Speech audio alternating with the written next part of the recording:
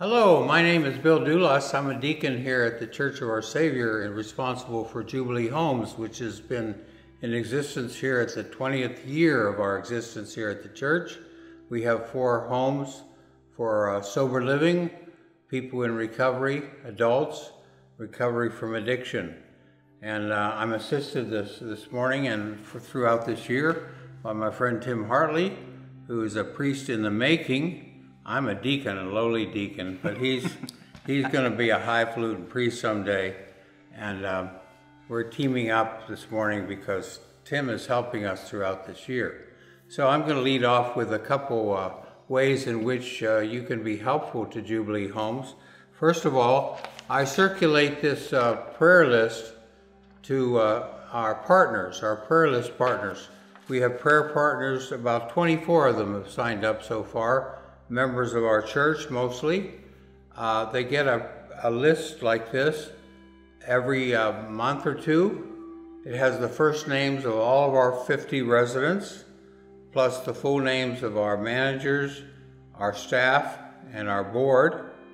And they commit to praying for these people uh, at least once a week. I think many of them pray for them every day.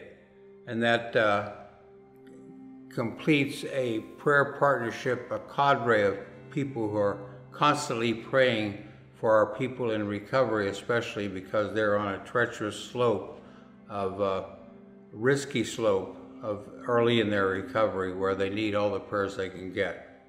Uh, secondly, of course, we could use financial donations. We have a fundraising drive in the summer, which you've just missed the deadline, I'm sorry. But actually, we, we accept donations all year round. And we have a, a uh, drive in December where I solicit uh, donations. We get most of our money from our rents, from our residents, but we raise about uh, $80,000 to pay for our salaries and for our support for our residents other than their housing. So we, would appreciate your support. And I'll turn it over to Tim now.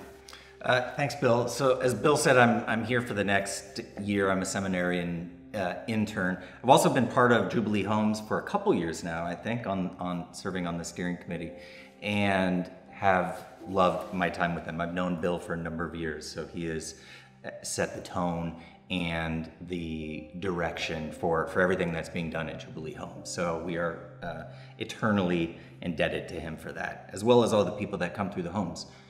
Something that we do uh, one, the first Saturday, most sat, the first Saturday of every month, most of the months, with the exception of, of a couple, is we have a dinner here at the church.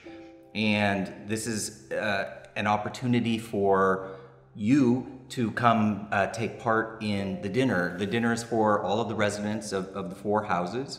One of the houses uh, is in charge of making the main meal, and another house is in charge of making sides uh, to accompany the meal, and that rotates around the different houses. And all of the residents come here, or most of the residents come here. But this is where anyone from the church can sign up. Just send Bill an email or, or contact us because we'd like to know that you're coming. You can come and just be part of the dinner and listen to what's going on.